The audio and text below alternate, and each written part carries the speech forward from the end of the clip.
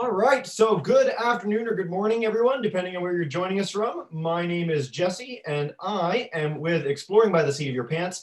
We are all about bringing conservation, adventure, and science into classrooms around the world. And we are particularly excited because, for a few reasons, uh, all September long, we are showcasing marine plastics, and we've got a perfect speaker for that today.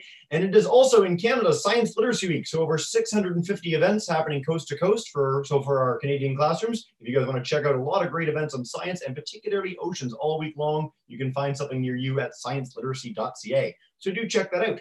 Right now, we've got five classes joining us from across North America. And I want to give them a chance to do a bit of a shout out. So we've got Mr. Douglas's grade 11 and 12s in Peterborough, Ontario. Hi, guys. awesome. We've got Miss Lumley's grade 5, 6s in Sarnia, Ontario. Hey, we've got uh, Miss Carton's grade five, sixes in Anchorage in Alaska. Hey guys. All right. Miss Hans's grade eights in Austin, Texas. Hi guys. Whoa! One guy is like super excited. Um, and then we've got Mr. and Pleasure's grade nines in London, Ontario. We'll go introduce them later. Their class is just switching over, but thank you guys all for joining us.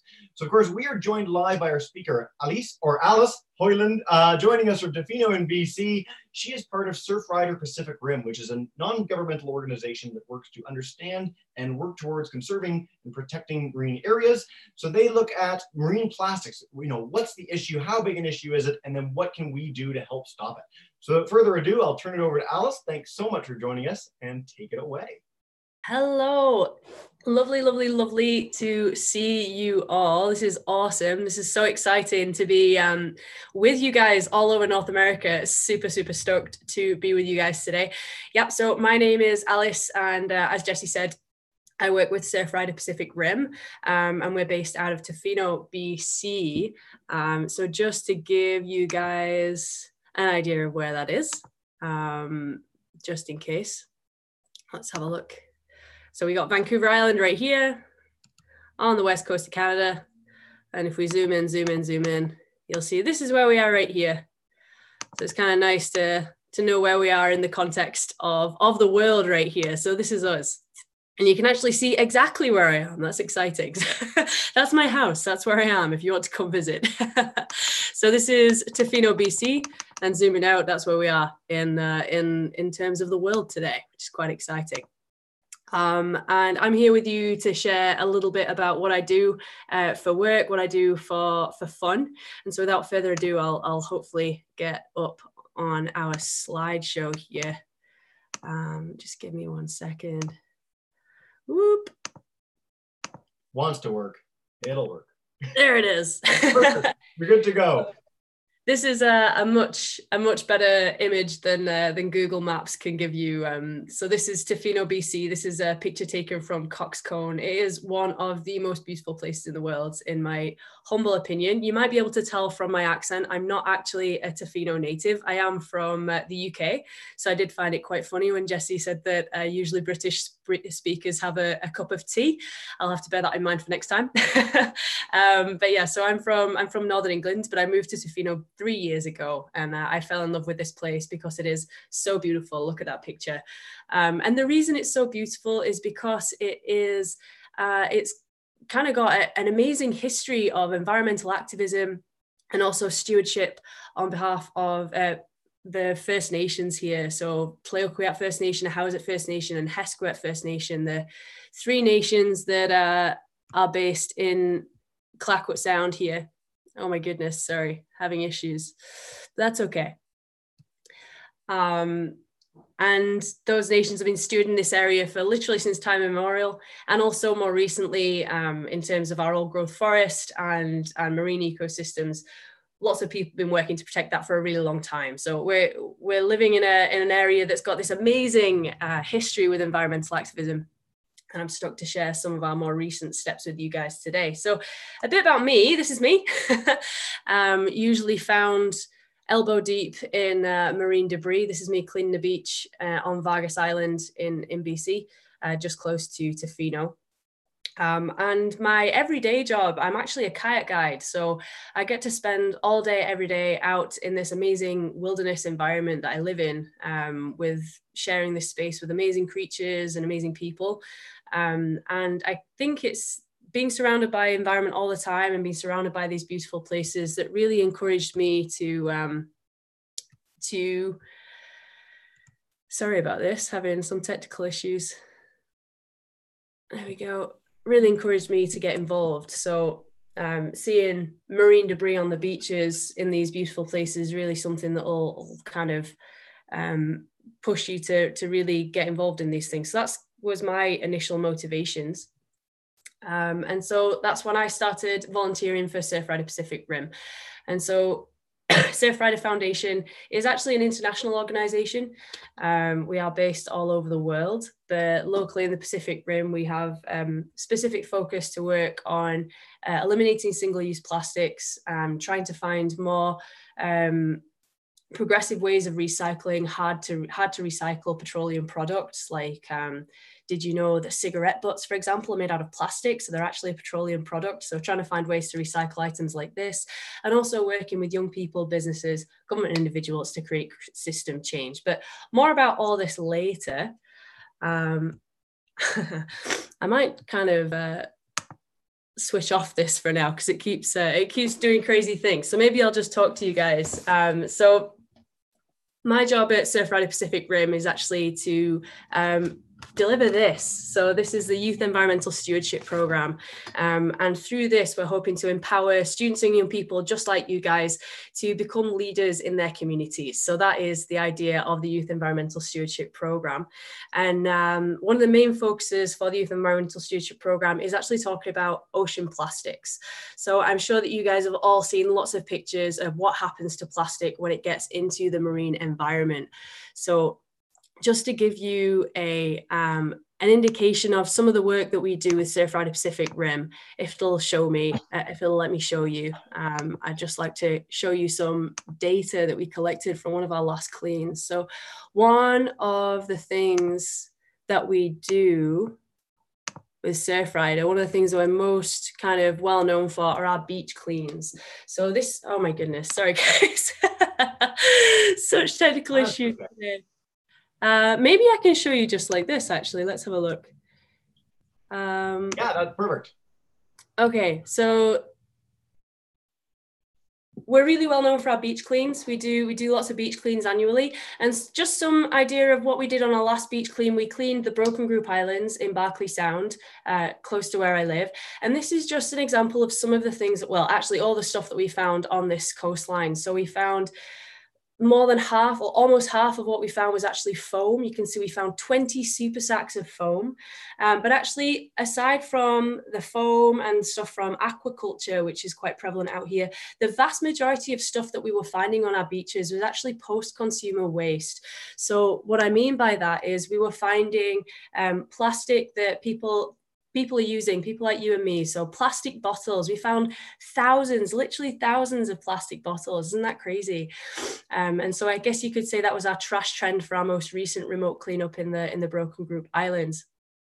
Um, but one thing to bear in mind about beach cleans is that this doesn't actually get to the root of the issue. So we know that um, cleaning the beach is really great for giving us an idea of what we're finding there, but it doesn't actually stop the plastic from getting there in the first place. And so with Surfrider Pacific Rim, what we do is we take that data that we collect on these beach cleans and we use it to inform our campaigns. So one of our campaigns and programs that we run, like I said, is the Youth Environmental Stewardship Program, um, and hopefully that is uh, is is going to inspire our youth to try and take a stand to prevent this plastic from getting there in the first place. So, for example, um, our most recent clean found lots of plastic bottles, and now if those plastic bottles went into the marine environment, um, first of all they'd start floating around on top, especially if they had uh, lids on. And so those plastic bottles, they get blown about by the wind, they get moved around by ocean currents and gyres, and they often collect in areas that we refer to as as, uh, sorry as gyres, as currents, as gyres. So the the Great Pacific Garbage Patch, you guys have probably heard of. There's been a lot of, of news about that. It's a huge area in the Northern Pacific where we get a big accumulation of debris, like these plastic bottles that we found on our beaches. So they get blown into the ocean, they get washed around in these gyres However, they don't just stay on the surface. So, just the surface is a very small percentage of the plastic that's actually in those gyres. So, as the sun beats down on that plastic and as the currents move them around, they start to break down into smaller and smaller pieces, and then they begin to sink. And so, before you know it, you've got plastic on the top, but you also have a plastic soup dripping down into the bottom of the ocean and kind of moving around with these with these ocean currents and that's when things start to get really quite problematic for animals so in the pacific rim we're really lucky that we share this amazing landscape with all kinds of animals from whales to really small creatures. And these animals are interacting with this plastic that we're finding on our beaches and in our oceans. Uh, we know that I think it's about 50% of humpback whales that have been monitored out here actually have scars from entanglement from uh, discarded fishing gear and plastic that's left in our ocean. So just to give you an idea on that. So animals are interacting with this plastic um, and they're mistaking it for food, they're getting entangled in it and it is having a, a terrible effect on our local marine life. So that's definitely one of the things that motivates me in this job. Um, but I guess one of the most insidious kind of effects that plastic can have on marine life is actually through bioaccumulation. As my slides aren't working, I'm going to use my booklet. Um, you can see here we've got a, um, a diagram here of, of what bioaccumulation is. So as these plastics break down, they actually can attract uh, background pollutants in the ocean.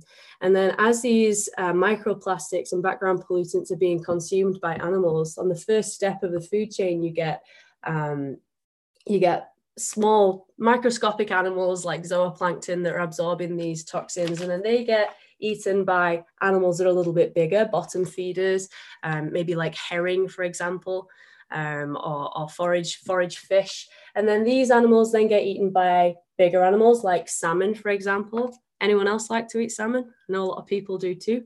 Um, so the these animals are then eating this, and this whole time they're eating more, right? So the salmon, they're not just going to eat one um, forage fish; they're going to eat lots. And so each step up, they're eating lots of the animal below, and so each step up is getting more of these toxins that have accumulated um, through the, the pollutants that we're putting into the ocean. So by the time that you're hitting transient killer whales, they've got lots and lots of pollutants inside of them.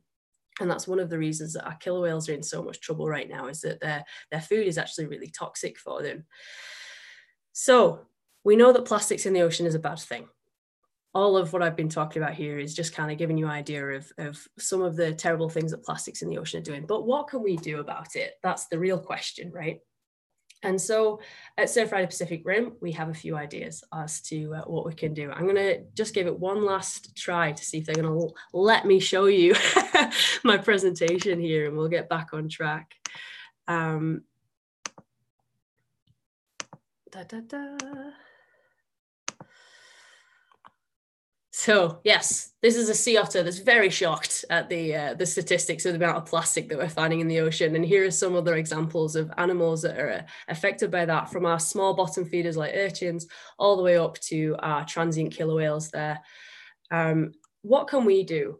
So at Surfrider Pacific Rim, we think there are lots of different ways of being a leader in your community and different leadership styles work for different people. So one of the really great ways that you can be a leader is to be an example. Think about the ways that you can reduce your own plastic consumption.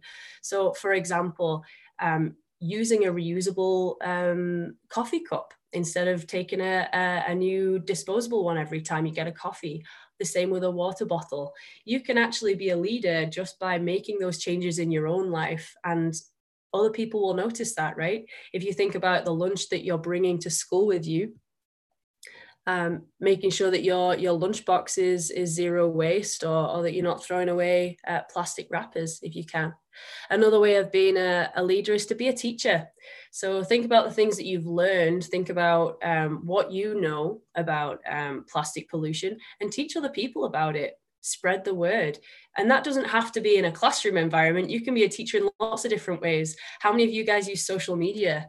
Um, Facebook or Instagram or Twitter or any of those social medias that you use, that's a great way to be a teacher and share what you know and get other people people uh, interested and in, involved in and asking questions about marine debris. Um, another really great way that you can be a leader is to be an artist.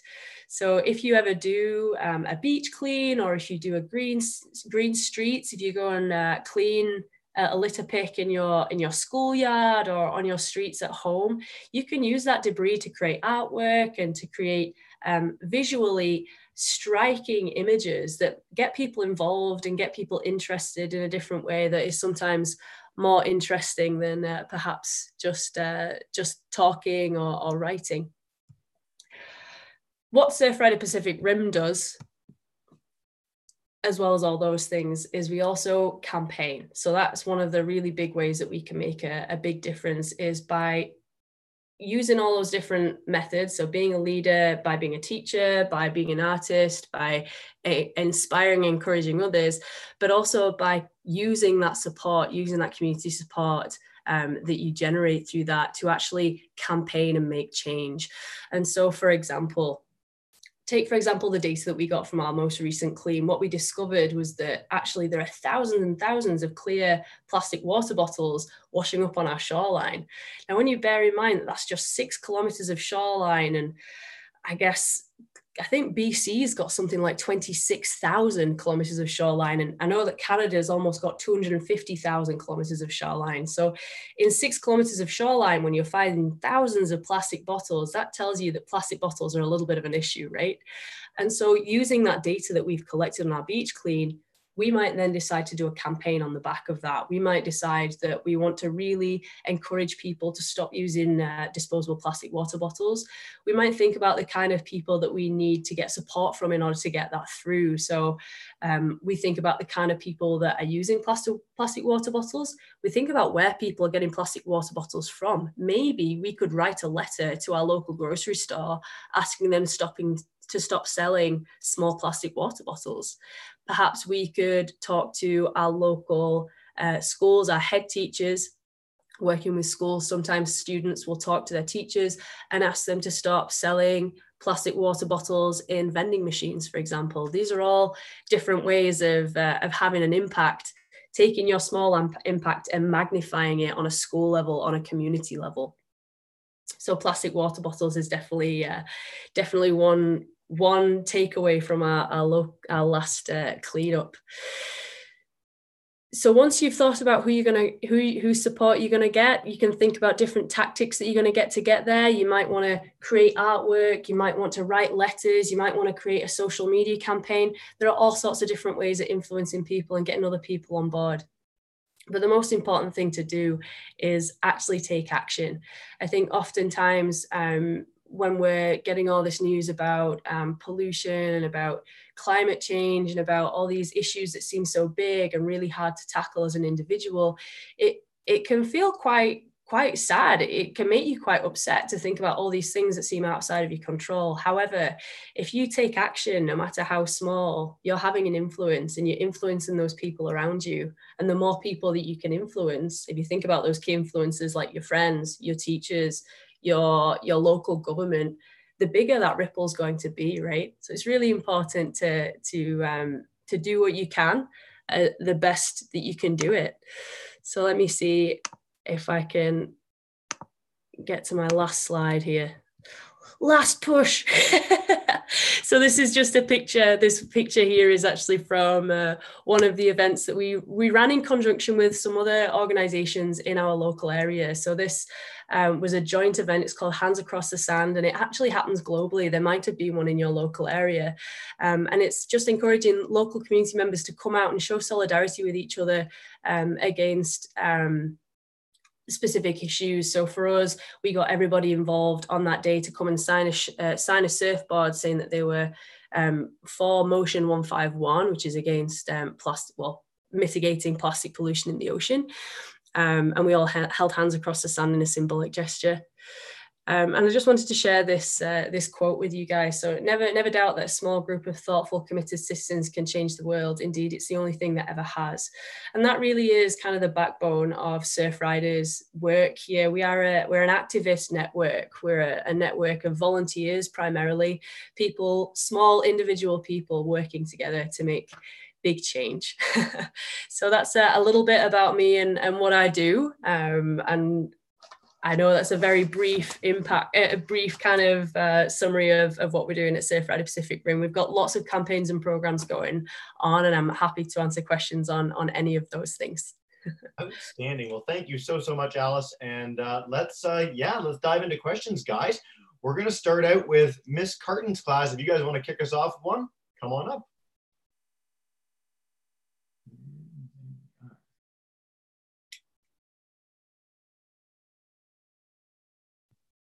Anyone in Alaska? Oh, we got one class. yeah, you guys are good. Hi, I'm Sai, and my question is how many dead fish and seagulls have you found, like washed up? That's a great question, Sai. So, um, I mean, on our individual cleans, we don't often find um, dead animals washed up on our monthly beach cleans. Um, however, we we do know that um, a lot of animals kind of get washed up after specific events. So, um, for example, if you have oil spills or whatever, that's when we usually find uh, most animals kind of washed up on shore. Uh, we do know that plastics are affecting animals, though. We often get um, so in Tofino, we, we're quite a big tourism town. And so there's lots of whale watching and bear watching and people going out on boats to look at animals. And oftentimes the skippers on those boats, they will actually take pictures and kind of send those pictures in to researchers. And a lot of those pictures have images of animals that have um, kind of entanglement scars or sometimes there'll be images of sea lions that have got plastic around their necks and things so i don't have any um, any numbers off the top of my head, but we definitely, well, the number that I do have off the top of my head is that 50% of humpback whales that are studied have entanglement scarring on them. So we do know that plastic debris is definitely having a, an effect on animals local to here as well. Excellent question, guys. I also want to know we've got a few groups watching on YouTube live as well. So if you guys want to type in questions there, I'll happily pass them along to Alys. Uh, but let's dive in with a second question with Miss Hance's class. You guys want to come up? Go for it.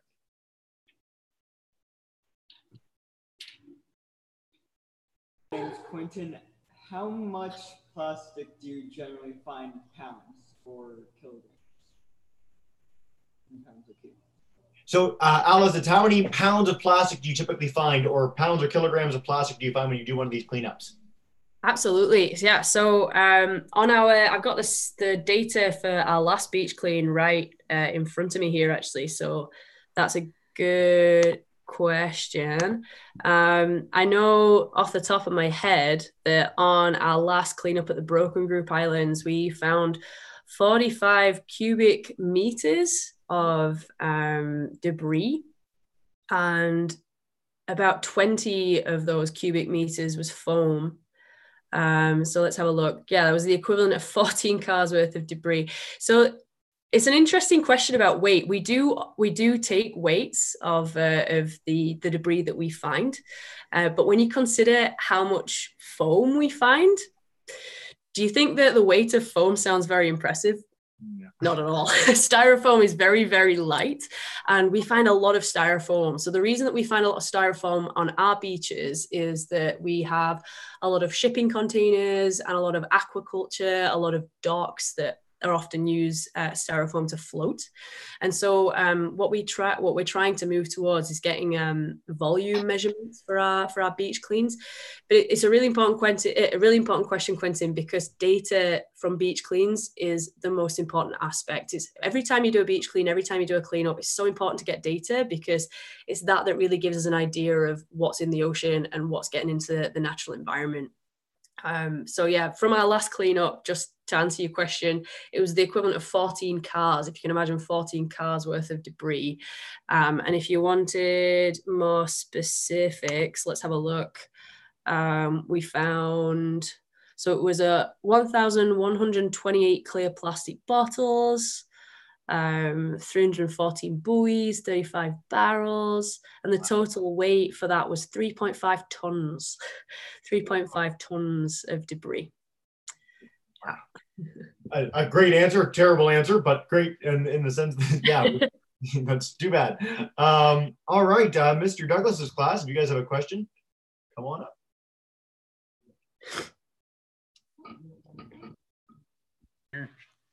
There we go. Okay. Okay.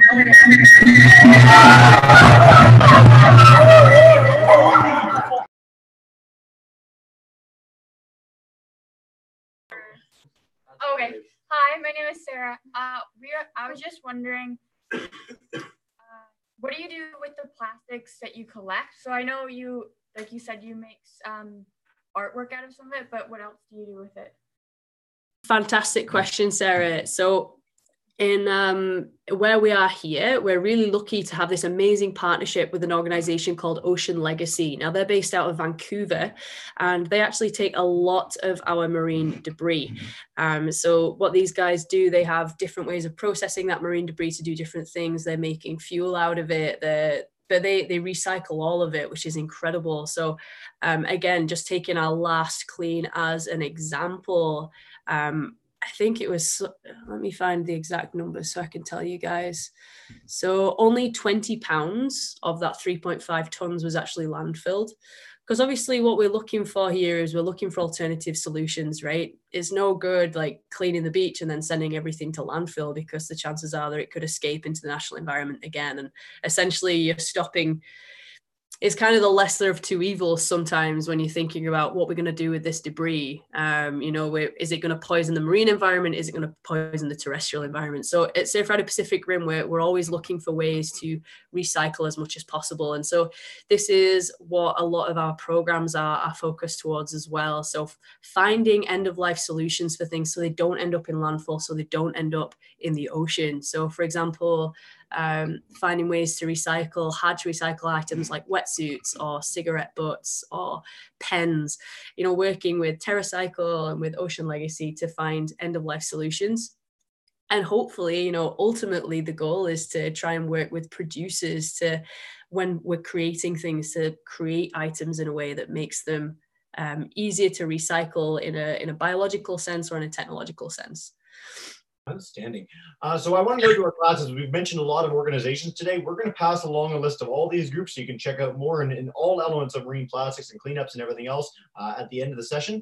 We're also going to, I, I, just want to highlight, we've done a couple hangouts with a group called Bureo. So they make uh, skateboards and sunglasses and other stuff out of marine plastic pollution, which is super cool.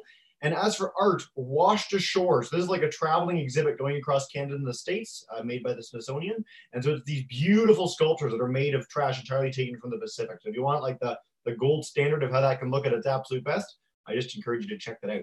Amazing. Uh, I want to pass along a quick uh, mention from a group online. So Miss Waterton's class, London in that class, just wanted to mention that she did the Great Canadian Shoreline Cleanup in their town. Uh, they found a ton of cigarette uh, butts and a big plastic tote. And so I want to just mention, you've mentioned shoreline cleanups a lot. Um, I don't know if you can speak to the Great Canadian Shoreline Cleanup as a specific thing, but it's a fantastic project if you can tell us a little more about it. Absolutely. So, um, and my my knowledge of the Great Canadian Shoreline Cleanup is is not super in depth. I know that we record all of our data that we we collect on our beach cleans gets recorded to the Great Canadian Shoreline Cleanup.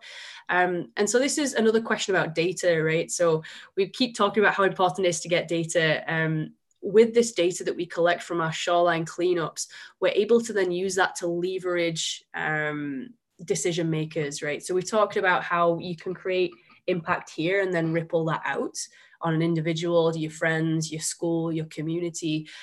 If you think about the people that have the biggest ripple impact, it's definitely our elected members, you know, locally, provincially, federally.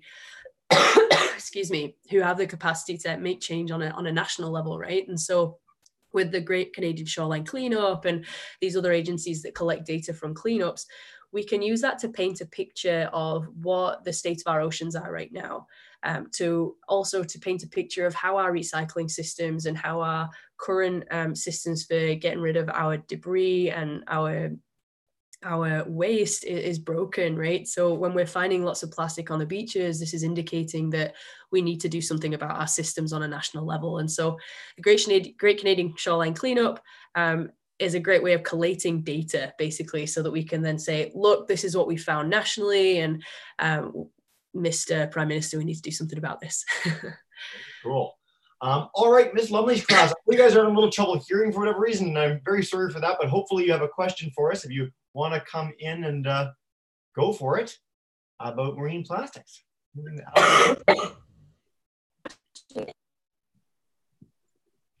Hey guys, yeah, you, we should be able to hear you, Miss Lumley's class. Maybe. Maybe it's tech difficulties generally. Okay, so I've got you guys muted again. Um, oh, how it now? Let's try one more time. Sorry, and then we'll check in with another class if we can't get it working. No. Maybe. Yep, you're good. Is Lumley? Okay. If it's not working, there's a little chat bar in the bottom right of the screen, or you can email me um, and we'll pass along the questions from there. So let's go to Miss Trempleasure's class. If you guys have a question, you guys have a question, go for it. Go for it. Okay, we have a question.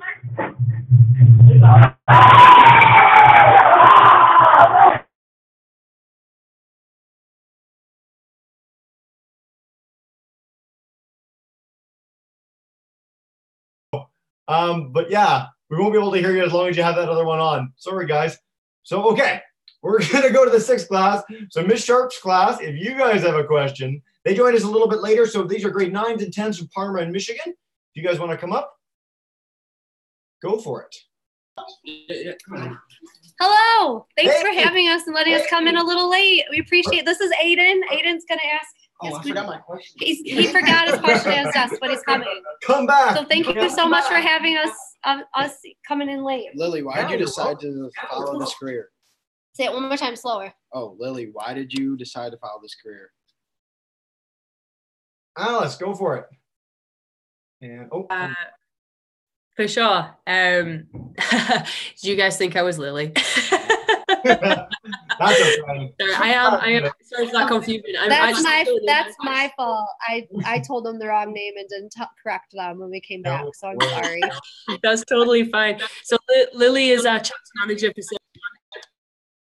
Oh. Hey, I'm Alys. I'm Alys Hoyland. Um, so um, I guess this career kind of just happened to me. Is the honest answer. I uh, I kind of I ended up in Tofino, BC, and I was having an amazing time kayak guiding out here. So kayak guiding is is is what I do for a living.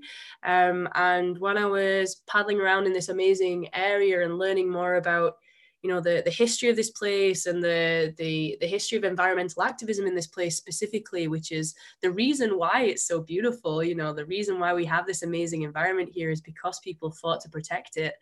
Um, and i guess being involved in that and also living in a small town with limit, limited infrastructure it really kind of paints a picture of the the issues that we have with our current systems regarding kind of waste management and also um, uh, and also just kind of the way that our systems are designed. And so this kind of led me into being more involved on a volunteer basis with Surfrider Pacific Rim, and then bringing my background as a, as a youth worker and educator to to that side of the, the programming here. So I guess that's how I ended up in this job, but it, it it's just marrying all of my passions for being outside and also uh, uh, working with young people. Excellent. Um, all right, the question from Miss Trempleasure's class, they wanted to know who funds your programming. This is something we're getting a lot actually with programs like this, is like who supports programs like this to enable them to happen?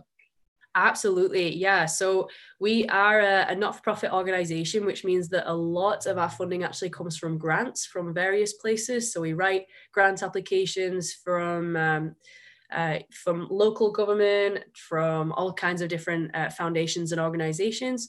We do have um, kind of requirements for places that we seek funding from as well. So um, it's it's a it's a tricky one, you know, navigating that field of what money is acceptable to to, to take and what isn't. Um, usually with Surfrider Pacific Rim, um, one of our, our main kind of things that we we look towards is, is working with polluters to help them change, but not necessarily accepting money from polluters. Um, we we don't want to ever um, be accused of allowing polluters to greenwash, right? So we want to support polluters to change their practices, but we don't want to just accept money and, and not have that relationship. So funding, uh, it comes from either individual donations. We also are a membership organisation, so you can become a member of Surfrider, and that money comes towards uh, to funding our campaigns and programs as well.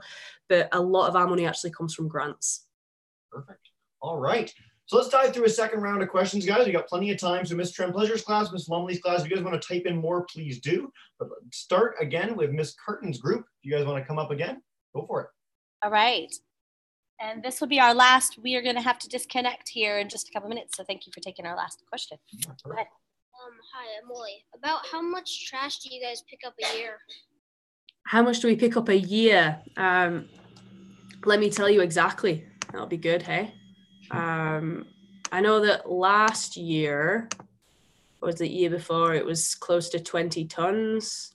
Um, I'm not sure if you heard before, there was a question around about this. Um, and it's kind of a tricky one to tell you in a way that's any it's, it's tricky to give you meaningful data on weight because so much of what we find is foam and so uh, foam doesn't weigh very much. Um, and so um, what we what we've discovered a, a, more kind of meaningful way of collecting data on what we find in our shoreline cleanups is to kind of keep track of individual items and also volume. So um, we find a lot of foam by volume. Um, we find a lot of hard plastics, and specifically, we find a lot of post consumer plastics as well. So, things like plastic water bottles, uh, plastic cutlery, um, plastic coffee lids, uh, bottle tops, packaging, food packaging. Uh, in fact, the vast majority of the debris that we find that can't be recycled is, is usually so- soft plastics that are super degraded and can't be recycled there. So food packaging is a huge part of, of what we're finding on our, on our shorelines here. Um, all the data from all of our cleans, by the way, you can actually find on our website as well. So if you're interested in specific clean data, if you go to pacificrim.surfrider.org, um, you can find the data from all of our cleans online as well. Awesome. Thank you so much, uh, Alys. So I did lie when I said we're going to do second round of questions. I'm getting a lot of notes from teachers like it's the end of the period, so I don't want you to all disappear. So before we wrap up then, Alys, is there one last message you want to share with classes, something that they can do to learn more, something they can do right now today to help out with, with this issue? Totally, yeah. So I guess um, from from our perspective at Surfrider Pacific Rim and our, our youth programming, um, the number one thing that you can do is really think about what you can do as an individual and then share that right? So share share share and influence influence influence within your within your group. Kind of get involved get uh, excited about what excites you and share that with other people. Um, so remember that you don't have to solve all the problems at once. If you can find one issue that you're passionate about one issue that means something to you work on that and share that with other people.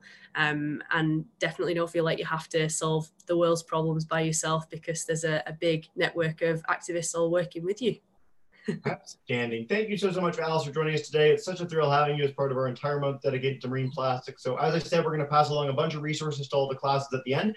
What we do at the end of every Hangout, I'm going to demute everyone's microphone. So Ms. Sharp's class, Mr. Douglas's class, Ms. Lumley's class, Ms. Curtin, everyone, if you guys could join me in just saying a huge thank you uh, to Alys for joining us today, go right ahead. Thank you so much.